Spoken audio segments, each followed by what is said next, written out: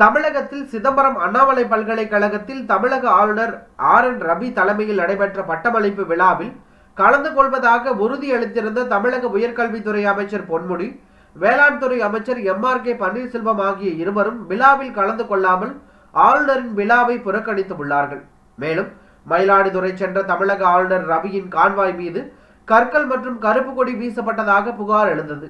இந்த புகாரை தமிழக காவல்துறை மறுத்துள்ளது.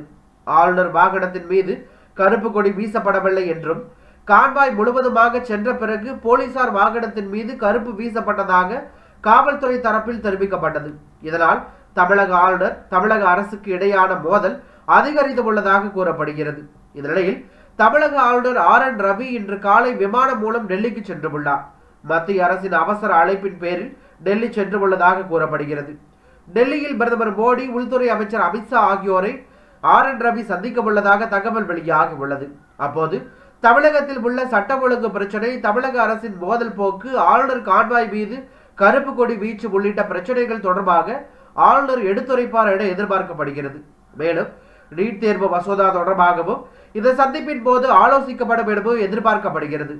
எனவே தமிழக அரசு ஆளுநர் இடையிலான மோதலில் மத்திய அரசு தலையிட வேண்டும் என ஆளுநர் வற்புறுத்துவார் எனவும் அரசியல் விமர்சகர்கள் கருத்து தெரிவித்துள்ளதாக தகவல் வெளியாகியுள்ளது.